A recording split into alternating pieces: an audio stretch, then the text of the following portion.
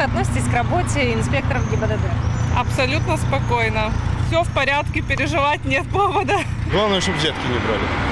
Главное, следили за порядком. Очень положительно. У нас в городе вообще замечательные инспектора ГИБДД. У меня даже был один такой случай, если позволите, на камеру, да, я как-то ехала а, с двумя детьми в машине, меня остановил инспектор ГИБДД, а, но я знала, что я ничего не нарушила, и просто предупредить о том, что у меня одна фара перегорела. Возраст не тот, гонок не устраиваю, нормально езжу, так что проблем никаких. У каждого водителя уже сложилось мнение о работе инспекторов ГИБДД. Большинство сходятся в одном – без полиции на дорогах был бы хаос. По всей стране происходит очень большое количество ДТП, преступлений, связанных с автотранспортом, с мототранспортом. Сотрудники ГИБДД нужны для того, чтобы хотя бы был порядок на дорогах нашей страны. Пресекали правонарушения. Не все правонарушения может зафиксировать камера. То, что увидит своими глазами сотрудник ГИБДД, того не увидит камера. Пьянство за рулем, угон транспорта, нарушение правил – это лишь небольшой список того, с чем сталкиваются инспекторы ежедневно. Сотрудники ГИБДД несут службу с 1936 года. Здесь представлены автомобили, которые, с которых начиналась служба ГАИ, служба ДПС. Э, на данных транспортных средствах заступали сотрудники на службу. Как считаете, вот сейчас на вот таком автомобиле можно угнаться за правонарушителем? Но, к сожалению или к счастью, нет. Такой Почему? автомобиль, такой автомобиль уже не потянет программу. Во время работы своей, когда они еще действовали, какую скорость они развивали? Э, Ну, конкретно данный автомобиль. Ну да.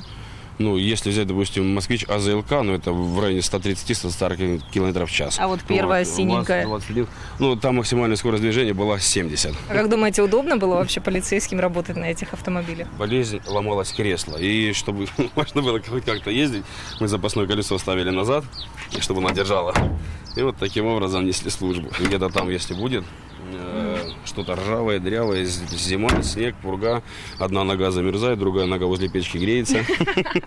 Класс. Но с тех пор прошло много времени, машины стали гораздо мощнее, современнее. Впрочем, изменилась и экипировка сотрудников. Сейчас мы с экипажем ДПС поедем на маршрут патрулирования и узнаем, что в обязательном порядке берут с собой полицейские. Есть у нас прибор измерения светопропускаемости стекол. Называется он тоник.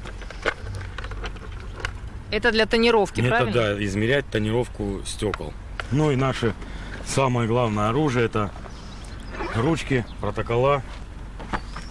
Часто пригождаются.